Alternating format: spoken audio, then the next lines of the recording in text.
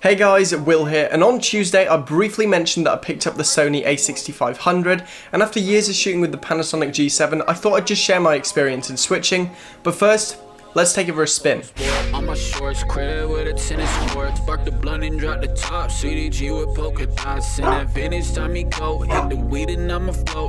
Gucci denim jacket, take the then I crack it, 97 Tommy Hill, counting hundred dollar bills, Ladies in a swimming pool, keep that shit for real. I'ma keep that shit a buck. Homie, why you acting tough? Did a hundred K subs, set the check and run it up. Bitch, I'm on some grown shit.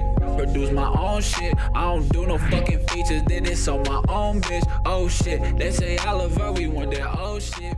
Whew, that was crazy sharp. Which leads me on to the first thing that I absolutely love about the A6500. The Sony A6500 actually takes a 6K readout on the sensor, then downsamples it to a 4K image running the XAVC S4K 24p mode. I love the image quality that the A6500 provides and it's a huge step up from the G7. Another thing I love about shooting Sony is having a log profile that actually works. The only one which was technically available on the G7 was Cine D and I have many reasons to hate this profile, but above all it just completely flattens the midtones, which in turn makes skin tones look like absolute crap. And by the way, this is baked in, no amount of contrast can fix this in post.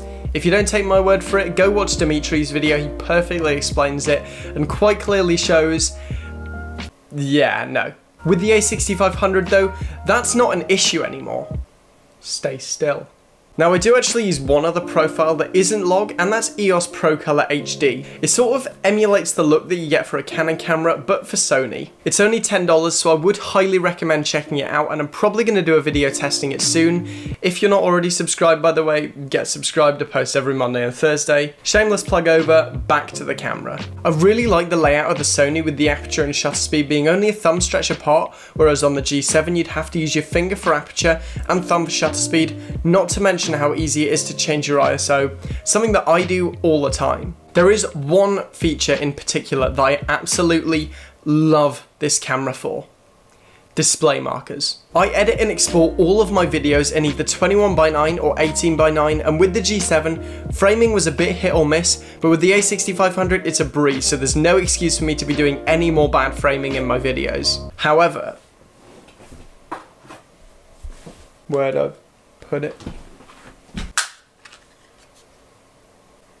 Compared to the G7s, the Sony's battery life is pretty poor. I've actually only ever had one Panasonic battery for the G7 and it always lasted me the day. I did take it to Menorca where it was constantly on and it never ran out of juice halfway through the day and I don't think I'd have the same confidence with the Sony's battery life. Now another area where the G7 beats the A6500 is with the touchscreen. While the A6500 now does have a touchscreen, it might as well not. You can't actually use the touchscreen in the menus or even in the playback button. I mean all I've actually used mine for is to punch in when focusing. If this is a reason why you might be looking at the A6500 over the A6300, it really isn't worth it. I got the A6500 over the A6300 because it doesn't overheat like the A6300 does. At least that's what I've heard. I haven't actually had the chance to do a proper stress test on it yet, but that fact alone was enough for me to drop almost double on this camera. Now we're on to what I think could be the weakest point of the Sony.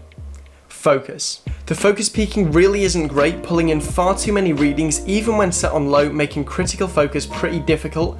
Now, this next com really wouldn't be fair in a review, but this isn't a review, it's switching from the G7 to the A6500, so I can mention it. The tap to autofocus in manual focus mode was a feature I sincerely loved about the G7 when I needed to get quick focus. I would constantly use this. This is nowhere to be found on the Sony, so if I do want to use manual focus, which I do pretty much all of the time, I have to do it completely manually. I'm sure I'll adjust. If there is a way for me to get this feature, please leave a comment as I am still learning this camera. It's literally my second day with it. So if you have got any tips, I'd really like to hear them. Overall, I'm really, really pleased with the upgrade and I'm looking forward to shooting many more videos with it, learning along the way. Now, I still love my G7 and if I can get it fixed, I absolutely will, but as I said, I'm loving the A6500 so far. Thanks for watching. Remember to hit the like button. If you want to see more content like this, then please subscribe. I'm trying to hit 3k by the end of the year, so every little helps. By the way, guys, Monday's video is going to be absolutely crazy, so be sure to not miss that. I'm done for now, guys, and I'll see you on Monday.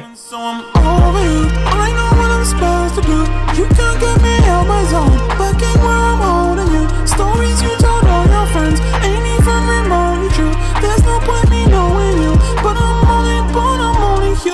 I'm closing you. You change your mind more than the time.